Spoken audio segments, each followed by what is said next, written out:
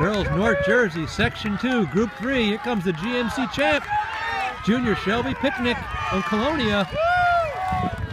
Sectional champ, about 1832. Madison Brand from Middletown South, second. Colts Neck, top girl coming in.